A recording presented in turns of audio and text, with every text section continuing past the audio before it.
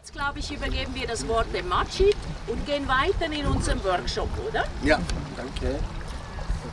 Äh, Antoine de Saint-Exupéry hat ein Buch geschrieben, heißt Der kleine Prinz.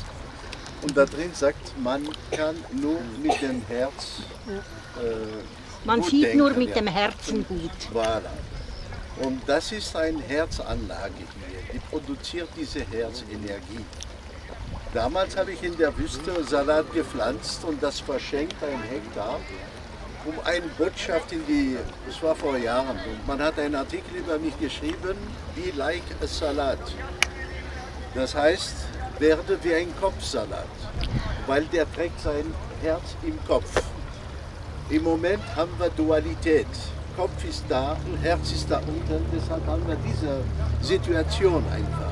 Und diese Anlage hier macht eine Symbiose einfach, dass man wirklich im Herzen verankert ist. Ich werde dann später auf die Einzelheiten Fragen beantworten, wie es dazu kam, was die bewirkt und wo sie überall eingesetzt worden ist. Ich kann nur sagen, im Moment schaut auf Algerien. Ich habe seit acht Monaten angefangen, diese Technik da einzusetzen, obwohl die erste Technik ist von 2005. Da ist der Terrorismus, Gewalt runtergegangen. Das kann man alles nachlesen in den Zeitungen und so. Und jetzt seit sechs Monaten in Algerien herrscht die beste, größte, friedlichste, harmonische Demo, die die ganze Oligarchen und sowas im Moment sind, um äh, diese äh, Diktatur einfach runterzumachen. Äh, vorgestern, Freitag, waren 35 Millionen Algerier auf die Straße überall. Es hat mit 7 Millionen ge äh, gehabt. Und diese Demonstrationen sind jetzt in Buch, im Buch Guinness der Rekorde reingekommen, weil sowas hat die Welt noch nie gesehen. Und dank dieser Arbeit, dieser friedlichen Arbeit.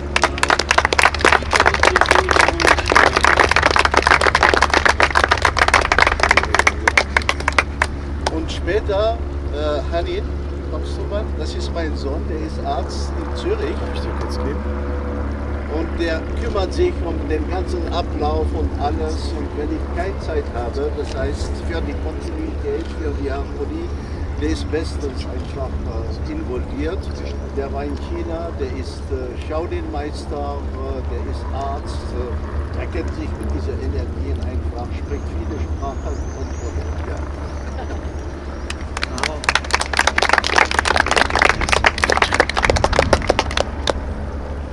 Okay? Fragen?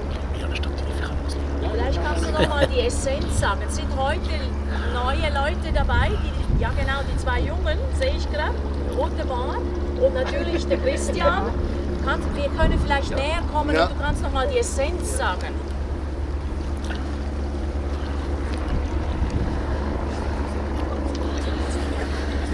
Ich habe damals in Algerien im Führer herrschte mit diesen Arbeiten, um meinem Land meinem Wissen zu helfen. Es gab kein Regen, kein Wasser, Armut, obwohl Algerien ein reiches Land war. Dann habe ich mich mit den Techniken von Wilhelm Reich und ich wollte dieses Regengerät auch da machen. Und ich habe gesehen, Wilhelm Reich hat mit riesen Stauseen gearbeitet und die Negativität, die in der Luft liegt, er nennt es Dor, ich nenne das radioaktive, wie sagt man, Materialien oder Schwingungen, die da sind, Gammastrahlen. Und ich konnte nicht ohne einen Staudamm arbeiten. Dann bin ich dann ans Werk gegangen. Ich wollte ein Bassin haben, das war ungefähr 5 mal 5 und 1,20 Meter hoch, habe ich mit Wasser befüllt. Und dann habe ich intuitiv gearbeitet, um dieses Wasser, weil es verseucht sich sehr schnell, wenn man das Gerät von Wilhelm Reich einstellt. Dann dachte ich ein Schauberger, ich habe das Wasser gewirbelt. Das ist das Prinzip, was ihr hier seht. Das ist Dipol, wird magnetisch produziert, ein gewisser Strom mit Piezoelektrizität nennt man das. Dann kam mir auch Tesla im Sinne, das ist die Primärspule und das ist die Sekundärspule, einfach hier, die das induziert wird und das Wasser immer in einem Zustand, sagen wir, levitiert ist, dass es nicht schnell wird. Das ist dann vivant, l'eau vivante, ja, also lebendiges Wasser. Dann habe ich äh, diese Blume des Lebens, die findet man in Abydos in Ägypten, die ist von Hermes Trismegistos oder Atlanten, die findet man richtig eingraviert in den Pyramiden. Das hat mich ein bisschen stutzig gemacht, warum, wie und dann ich habe mich da auch reingekniegt und dann bin ich auf einen wunderbaren Mensch reingestoßen, Nassim Haramein, der diese Gravitationsfelder einfach studiert hat und äh, gut erklären kann. Dann habe ich dann mich mit dem Torus äh, befasst und dann ich habe das so gemacht, dass diese äh, dynamisiert werde, diese Anlage, und ein Torus produziert, das heißt eine Art Herz. Das ist ja die fünfte Kammer, Herzkammer, äh, im, äh, wie sagt man, wissenschaftlich betrachtet. Und diese reinigt, die nimmt das Negative, verarbeitet es da im Zentrum, wird von der Erde genommen, weil die Erde ist auch ein Organismus, Gaia-Prinzip von Lovelock.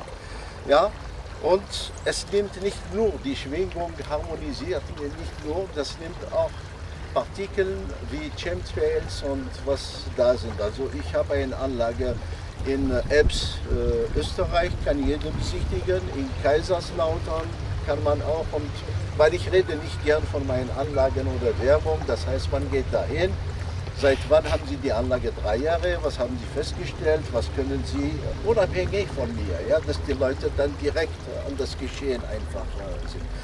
Und wo diese Anlage hier steht, erfährt man eine andere, wie sagt man, Zustand sozusagen. Die Chakren öffnen sich langsam. Dazu gehört auch eine Zeremonie von Agnihotra, die reinigt auch hm. den Körper, den Spirit. Das heißt, man kommt schon auf anderen Leben. Im Moment erleben wir das Wasserzeit, äh, Wassermannszeitalter. Und es ist wichtig zu wissen, etwas ist wichtig, man muss schon schwingen auf eine höhere Ebene, durch Meditation oder vegetarisch oder ein bisschen anders sein, um davon zu profitieren. Die Leute, die nicht so weit sind, die sind noch in der Materie verankert, die werden nicht mitgenommen. Ja? Das heißt, man muss schon und diese Anlage hilft dazu. Ich werde nur sagen, kommt hier vorbei, ab und zu mal, guckt euch an, beobachtet, was der Himmel zum Beispiel macht, was da passiert mit äh, Tieren, mit Menschen. Äh, und dann wird ihr dann feststellen, äh, dass etwas da ist. Ja. Okay.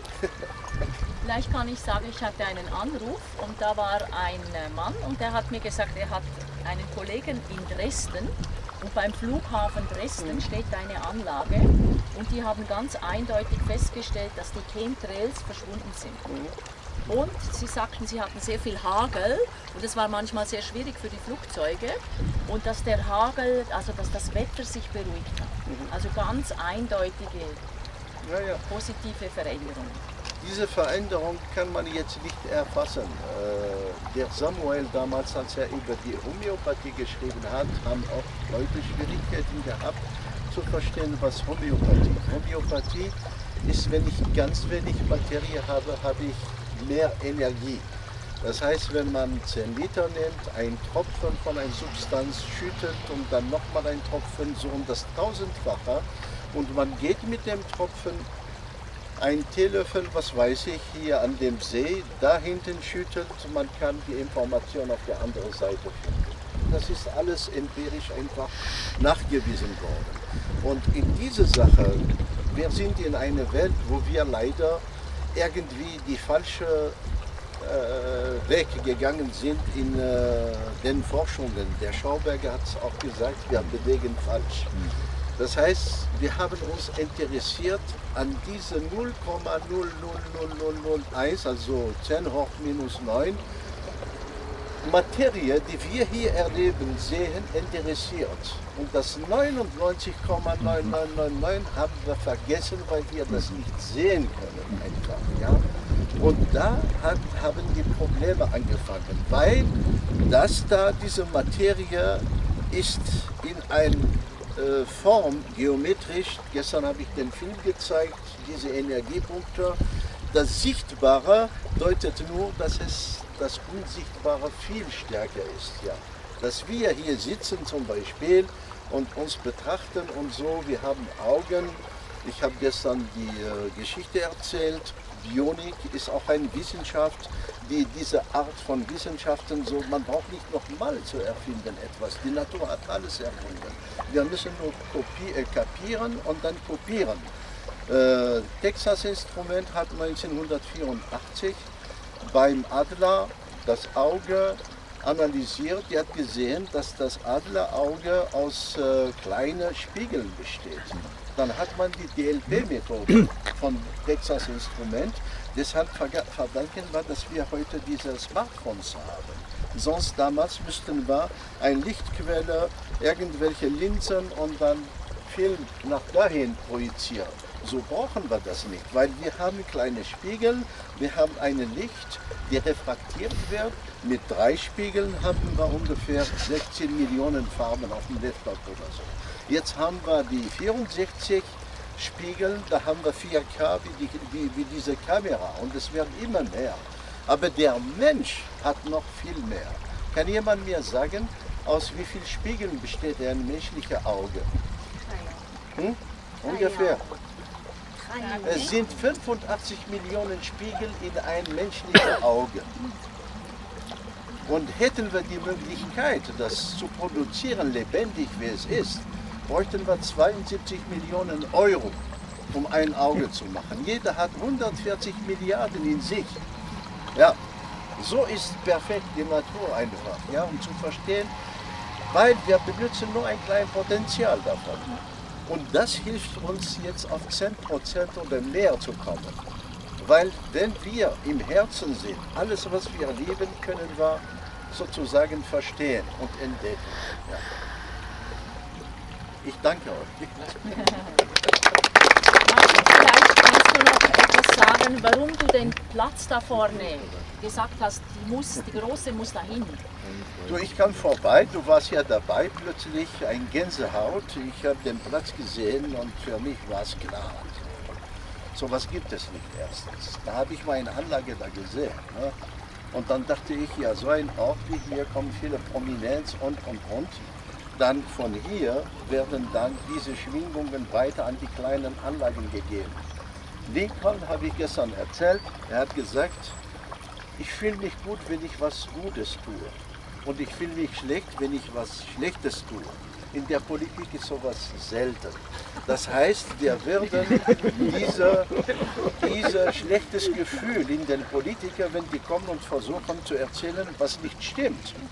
Das heißt, hinterher, die bereuen das. Das heißt, da kommt schon was ein Konflikt. Und wenn dieses kommt, das heißt viel erreicht. Das heißt, die kommen in die menschliche Phase, in die herzliche Phase sozusagen. Ja. Und viele Politiker kommen hier. Ja. Und die nehmen etwas mit, eine Schwingung, die sie dann wie eine Kerze, laut sie hat gesagt, statt über die Dunkelheit nicht zu, äh, zu schimpfen, zünde eine Kerze an. Aber Politiker zünden nicht nur eine Kerze, die zünden und zünden anderen Kerzen und die anderen zünden auch. Ja. ja, und wir denken auch an die vielen Gäste aus der ganzen Welt. Ja. Noch etwas wichtig, eine wichtige Frage. Du hast gestern die Übung gezeigt. Mhm. Und wenn jemand das machen möchte, Ja. wo, hast, wo haben die eine Referenz, wo du das zeigst? Oder wo du Die haben das gefilmt gestern. Ihr könnt die CD von denen oder ihr könnt das im Internet Die Übung. Es wurde alles gefilmt. Ja? Ja, dann kann er das einfach. Magic-Übung. Ich habe schon unter diesem Namen, aber es ist nicht so in der Qualität, wie er das da gemacht hat. Ja, diese Übungen sind äh, genial. Ja, ja, ja. Das ich ja mal. Die Wahrheit. Wo ist die Blume des Lebens in den Pyramiden? Ja, in den Pyramiden. Äh, Abydos Pyramide, wenn du den Film Thrive kennst, Thrive, das ist ein super Film, wo er die Finanzen, die Politik, äh, Kriege und auch diese Technik auch erklärt. Da drin. Und dann zeigt er, wie das 2D, wie es aus dem 2D, also in das im Aramein, das 3D wird und was es bewirkt und was es atmet und, und ja. Also Thrive, T-H-R-I-V-E. Ja. Es gibt in sieben Sprachen mittlerweile. Ja. Dauert zwei Stunden, gutes Bier, hinsetzen. Unbedingt schauen. Aber das Symbol. Ja, ja, das ist ein Symbol, Blumen des Lebens der Schöpfung.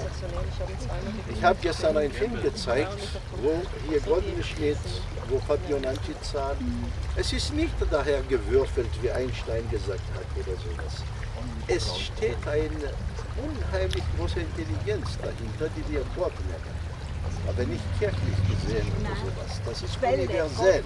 Ja, äh, Kirche ist drin eingebettet auch. Moschee ist auch drin. Es gibt keinen Unterschied. Ich habe mich mit vielen Religionen auseinandergesetzt.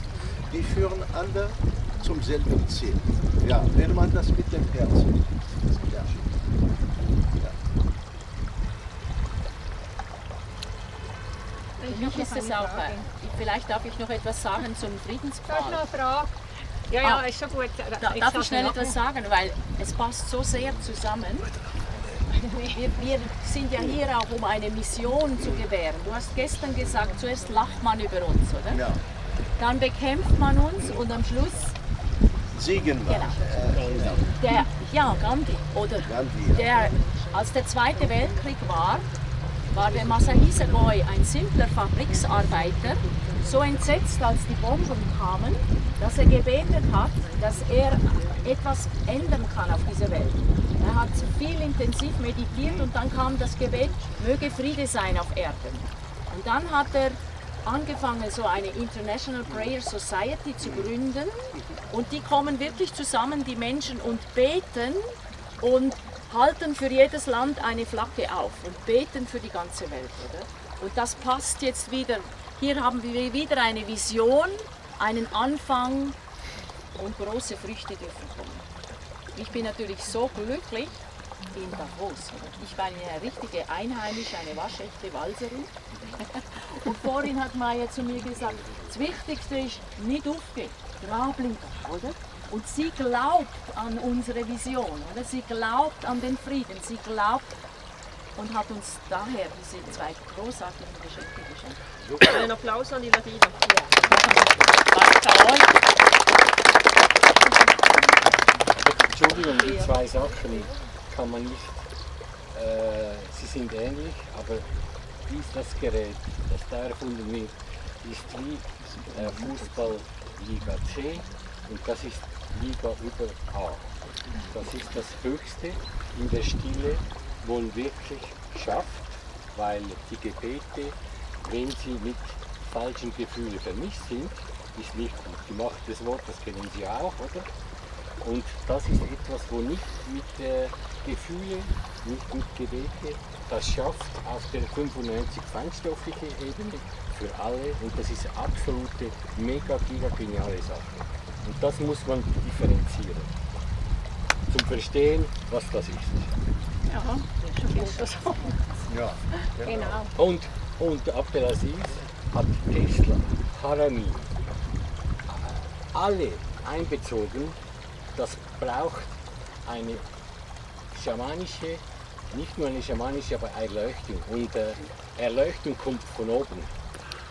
Und das ist absolut eine geniale Sache, wo ich wiederhole, äh, weil viele nicht, äh, noch, noch nicht das Gefühl bekommen haben, was das, wie groß die Sache ist.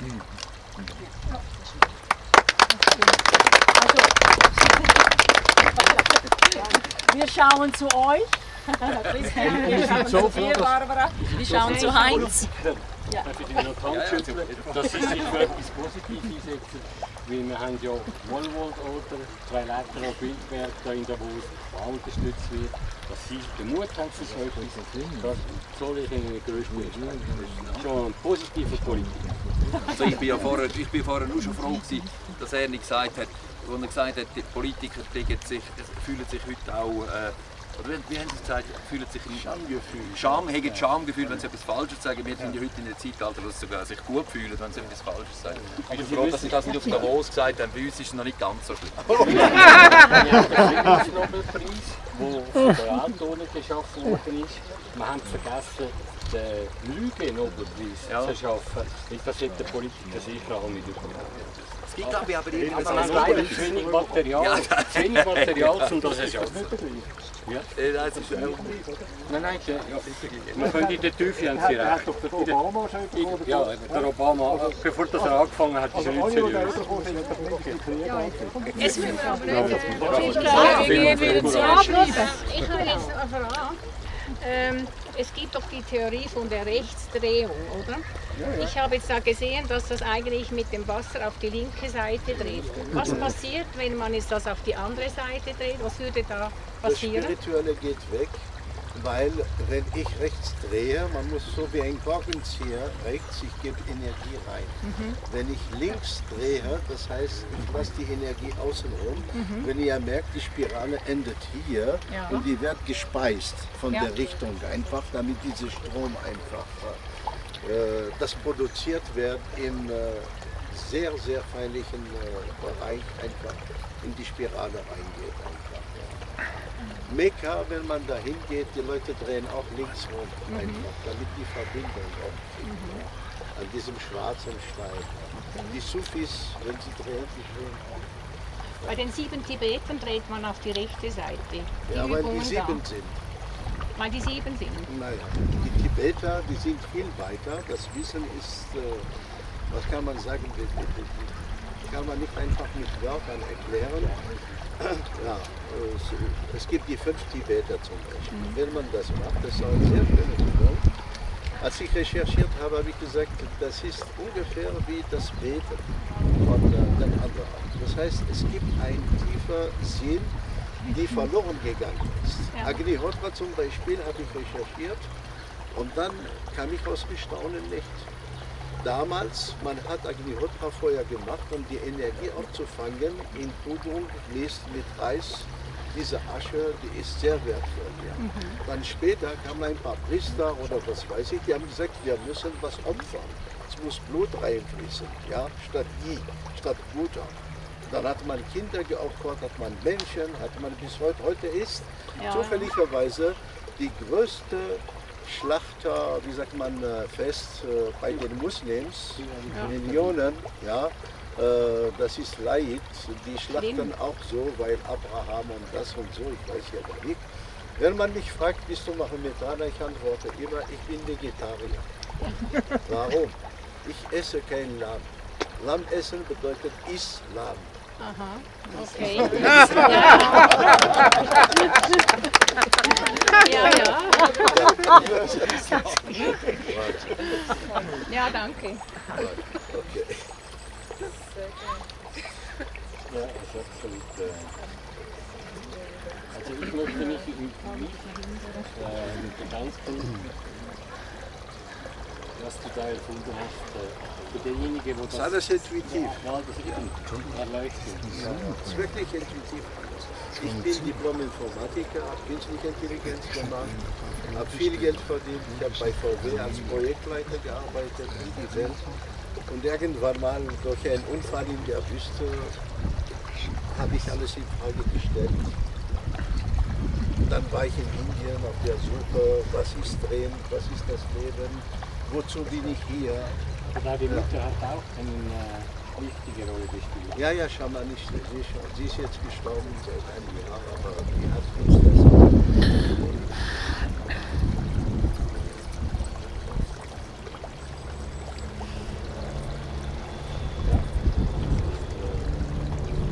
Wenn man bedenkt, Gandhi, den Salzmarsch und wie man ihn behandelt hat, das ist ein- eine neue Form von Friedensmarschbewegung.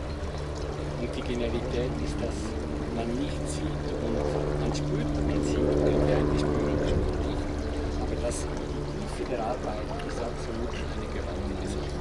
Der Gandhi konnte zu der Zeit sein Arbeiten nur mit Engländern in Indien machen, diese Philosophie. Ich kann das weltweit. Ja. Eine andere Zeit. Was ist deine Vision? Weißt du, wie viele solche Anlagen braucht die ganze Welt? Also die großen Anlagen habe ich damals äh, nach äh, einer Theorie äh, von äh, Global Scaling, also berechnet, 200 Anlagen für die ganze Erde. Habe jetzt 60, also Paraguay, Brasilien, äh, das ist, äh, Bolivien, äh, Afrika, in Mongolei. Es hat nicht gereicht, weil diese Anlagen kriegt nicht jeder, die großen. Das heißt, die Leute müssen weg. Deshalb als mich habe ich die getroffen das erste Mal hier, habe ich gesagt, die Chemie stimmt, okay, die Anlage kommt äh, einfach zu mir. Ja. Die Kleinen, die werden von den Großen gespeist und die machen sich auch dann in ihrer Wirkung, dann verbreiten sie die Energie, kriegt jeder einfach. Jeder hat das Recht, sowas zu erwerben, für seinen Garten oder für irgendwo. Wirkungskreis später 180 Kilometer und die große Wirkungs, äh, sagen wir, Umfang äh, 500 Kilometer. Ja, 480. Es breitet sich immer mehr und wird immer stärker, weil es eine Feld hier von der Nullpunktenergie einfach, von der Lehre. Von, Stärkeres gibt es nicht. Also das multipliziert sich mit der Zeit. Ja, ja. Das sind jetzt mehr Ja, ja, es, äh, es wird immer ohne stärker. Benzin, ohne. Das ist negentropisch. Je mehr wir davon verbrauchen, umso größer wird es. Das heißt, man kann sich das so vorstellen, die Implosionstechnik nehme ich das, Schauberger, und es gibt die Explosionstechnik, unsere Autos, Motoren, Ja. äh, unsere Leben, wie wir Sex miteinander machen, ist alles falsch, also explosiv. Durch Meditation, durch innere Schau, durch in Sicht einkommen, man muss sich so vorstellen, Implosion wie ein Badwanne, voll Wasser, ich stehe den Stützen, dann habe ich langsam am, am Rand bewegendes Wasser und es geht immer schneller im Zentrum. Ja. Unsere Technik explosiv ist das Gegenteil. Wenn wir ein Rad nehmen, wir haben außen sehr schnell und im Zentrum null, wo das Radlager ist. Ja, deshalb verbrauchen wir immer und wir müssen immer Energie dazu. Hier, es ist das Gegenteil. Wir produzieren Energie, wenn wir verbrauchen sozusagen. Und das ist die Spirale in den Galaxien, überall findet man dieses Prinzip. Nur wir kommen nicht sehen. Und es gibt Techniken, die so funktionieren. Tesla ist darauf gekommen. Absolute geniale Person. Und der Mensch hat sich in eine 5%ige Wirkstofflichkeit verloren. Ja. Und es ist Zeit, dass er die 95% Feinstofflichkeit endlich entdeckt. Und das Jetzt ist mal, der Anfang davon. wenn ich im Flugzeug sitze, habe ich das Gefühl, ich bin in ein Dinosaurier. In die Technik. Ja, das ist wirklich so. Ja. Früher gegeben. Ja. Großartige Entwicklungen, ja, wo, wo, wo längstens äh, sind. Alles Liebe. Und großartig, Lavina, für das, was du da hier in Davos erschaffen hast und solche Leute nach Davos bringst. Also mit größtem Respekt, wirklich. Ganz großen Applaus.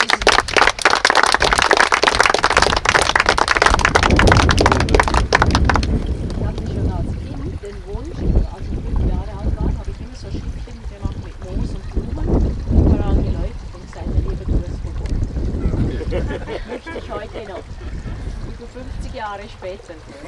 der, der, Wunsch, etwas zu tun, oder? Und ähm, die letzten Jahre waren ein bisschen hart, weil ich immer gedacht habe, es passiert wenig, oder? Barbara kennt mich seit Jahren und Jahren. Und jetzt, dieses Jahr, habe ich das Gefühl, wow, jetzt ist eine Explosion passiert. Jetzt passiert das Wunder, worauf ich schon so lange warte. Und ich, habe euch gestern den Film gezeigt von Indien, oder? Wo ich, wo ich da hingehe. Ich gehe nach, nach Chennai in diese unglaubliche Tempelanlage, wo 8000, 9000 Menschen für Weltfrieden beten und meditieren.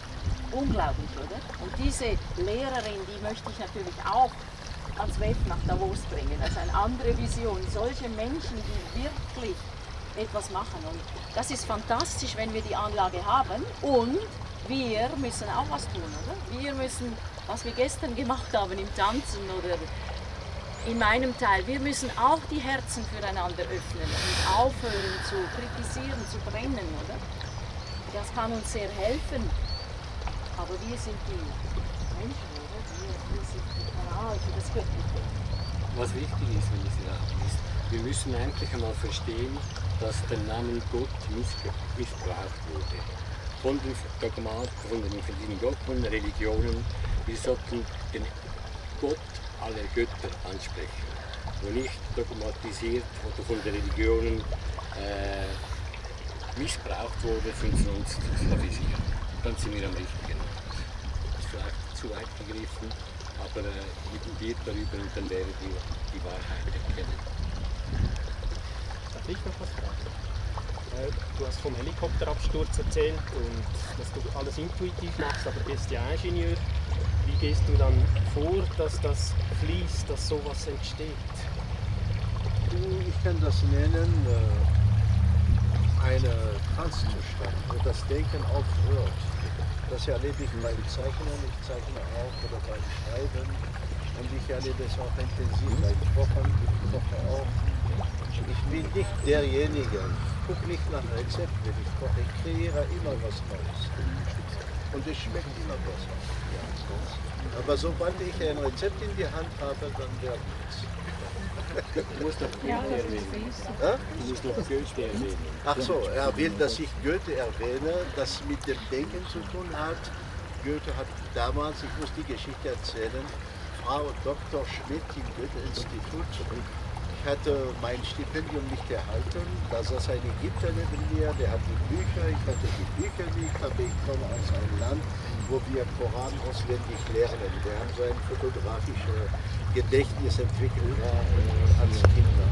Und dann habe ich immer die Lektion da mir angeguckt und dann habe ich sie eingeprägt und sagte, Herr Abdelaziz, lesen Sie jetzt. Guten Tag, Herr Hartmann, guten Tag, Herr Schmidt, wo waren Sie? Ich war gestern bei Ihnen, Sie waren nicht zu Hause. Und dann sagt sie, stopp. Da hat sie bemerkt, dass ich kein Buch hatte. Und einmal dann äh, hat sie an der Waffel, damals war ja diese Dativ, Akkusativ und so, die hat mich immer dann angenommen, mich ein bisschen zu ärgern. Geben Sie mir einen Satz mit äh, Kaffee als Akkusativ und Zucker als Dativ. Heute früh habe ich einen Kaffee getrunken. Wo bleibt Zucker? Als Dativ ist schon, ist schon im Kaffee. ja, ja, so war es ja. Dann einmal hat sie gesagt, die deutsche Sprache ist eine besondere Sprache. Man kann mit einem Wort etwas ma- machen. Dann hat sie ein, etwas ein Gedicht und da unten Goethe. Und dann hat sie das gelesen, hat sie ab und zu mal sich vertan und so. Dann hat sie das abgewischt. Und dann wir haben geredet und sie wollte mich noch äh, in irgendwas reinnehmen. Sie mochte mich, ja, weil ich war ein bisschen anders, ja. Dann habe ich gesagt, äh, vorhin haben Sie was geschrieben, äh, ich kann mich nicht, ich, irgendwie passt das nicht dahin. Was, das A will ich jetzt nicht schreiben, nochmal, ne? das ist sehr schwierig. Habe ich gesagt, ja, ja, ich sage es Ihnen und dann können Sie sehen, ob es richtig ist, ob ich es aufgenommen habe. Aber ich sage, denken nie gedacht zu haben, denn das Denken der Gedanken ist gedankenloses Denken. Wenn du denkst zu denken, dann denkst du nur gedacht zu haben. Dann war sie so.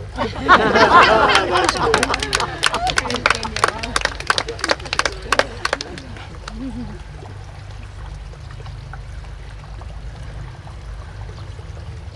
Wasser und sowas und diese Schnee und ja. Ich habe mal ein Video gesehen, wo du da gebadet hast drin im Wasser, in diesem Becken. Ja, das ja, weil das Wasser, das Wasser gesagt, ist wirklich, das habe ich in äh, Dubai damals bei den Emiratis, da habe ich ein Becken gebaut und äh, die waren skeptisch. Und Bernd Senf und so, wenn man die Lectures sieht, sagt, die Geräte nicht anfassen. Aber ein Geräte funktionieren anders. Man kann die anfassen und man kann sogar in dem Wasser baden, weil das Wasser hat den vierten äh, Aggregatzustand. Das heißt, man belebt eins. Wenn man reingeht, man kommt erquickt raus. Und das habe ich dann gezeigt. Und deshalb bin ich reingegangen. Das Wasser wird dann türkis, es leuchtet. Ja, ja, sieht man da auch. Ja. In Iran habe ich auch eine Anlage gebaut. Da war eine Frau dabei, die neun Jahre verheiratet war, ein Kind bekommen. Und die kam ganz schüchtern und sagt, will ich drin bade. Äh, werde ich dann wieder die Fertilität, bekomme ich Kinder? Habe ich gesagt, natürlich, probieren wir die studieren. Und dann sagt ihr Mann, wie ist das, wenn ich einen Junge haben will oder ein Mädchen? Habe ich gesagt, ja, versuch mal rechts zu schwimmen und links, vielleicht kann es was sein. Ja? Äh, ein Jahr oder zwei Jahre später kriegt die Botschaft, die ist schwanger und die hat wirklich ein Kind bekommen. Und jetzt gehen die Leute auch da ja. ja. Ich denke da, wie die Franzosen sagen, nicht das Denken agiert, sondern die Seele. Und die Seele nennt man l'âme auf Französisch. Und wenn sie agiert, sagt man agir. L'âme agit. Das heißt, die Leute, die da vorbeikommen, werden als Magier weitergehen, als Götter.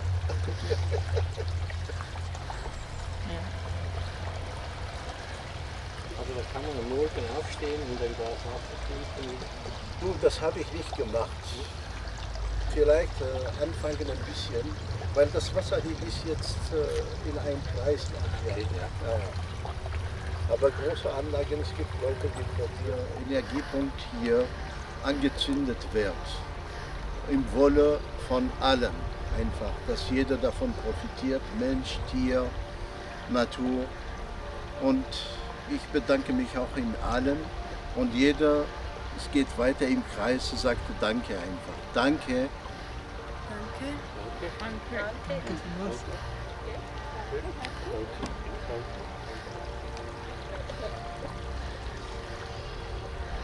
Das war das Letzte.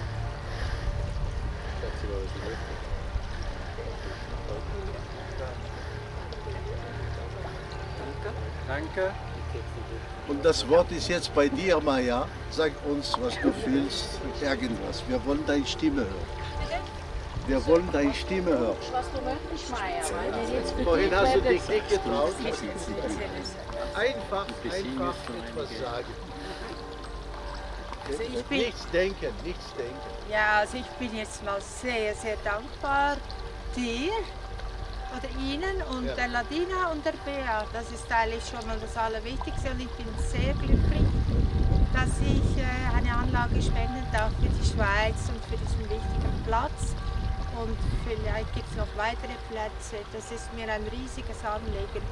Und ich hoffe natürlich persönlich auch, dass ich, äh, wenn ich so eine Anlage bei mir dann habe, eine kleine, dass ich äh, bei mir noch äh, Heilung geschehen darf.